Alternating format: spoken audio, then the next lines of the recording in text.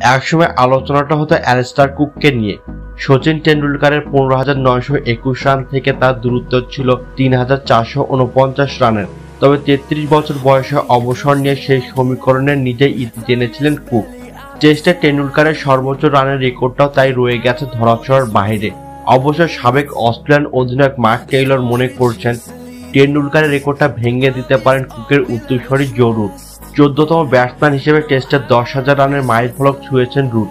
টেন্ডুলকারের সর্বোচ্চ রানের রেকর্ড ছুঁতে এখনও প্রায় ছয় হাজার রানের প্রয়োজন তার। অবশ্য দশ হাজার রান ছুঁতে রুটের সময় লেগেছে মাত্র নয় বছর একশো একাত্তর দিন।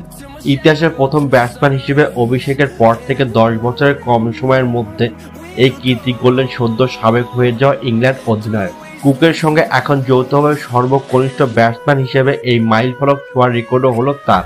টেইলর বলছেন, রুটের সামনে সুযোগ আছে টেন্ডুলকারকে ছাড়িয়ে যাওয়ার। স্কাই স্পোর্টসের হয়ে ধারাভাষ্য দিতে ইংল্যান্ডে থাকা অস্ট্রেলিয়ান সাবেক অধিনায়ক বলেছেন, কম করে হলেও আরও পাঁচ বছর খেলবে রুট। আমার মনে হয় টেন্ডুলকারের রেকর্ড ছোঁয়া খুব সম্ভব। বেশ কিছুদিন ধরে স্বপ্নের মতো সময় যাচ্ছে রুটের। গত বছর একষট্টি করে করেছেন এক হাজার সাতশো আট রান। এক ক্যালেন্ডার ইয়ারে যেটি তৃতীয় সর্বোচ্চ রানের রেকর্ড।